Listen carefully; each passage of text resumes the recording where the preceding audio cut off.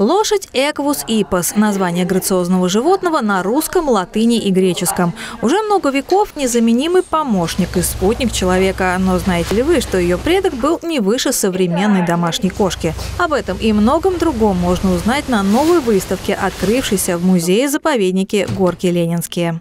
Она нам предоставлена музеем-заповедником Ивногория, который находится в Воронежской области. Музей этот архитектурно-археологический, и э, на его территории обнаружена стоянка древнего человека. Э, и на этом месте проводились неоднократно археологические раскопки. Археологам удалось обнаружить орудия труда наших предков, а также большое количество костей древней лошади. Они легли в основу новой выставки, насчитывающей более 250 экспонатов. Здесь вот мы видим ногу лошади. И этим костям около 14 тысяч лет. Также здесь представлены э, древние кости, э, допустим, лошади, но э, разного возраста. Сравнивается э, кость лошади берцовая, бедро лошади с бедром э, сурка.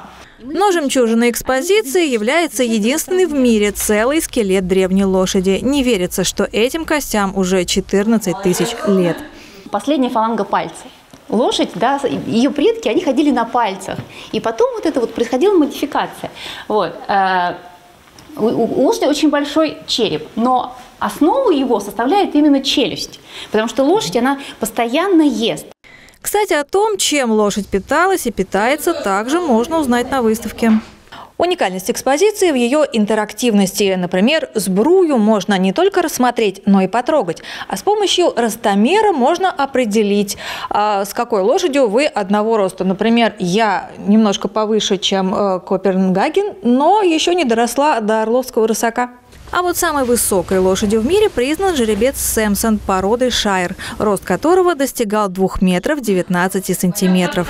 Древняя прародительница рода Орагипус была, как современная кошка, всего 35 сантиметров в холке.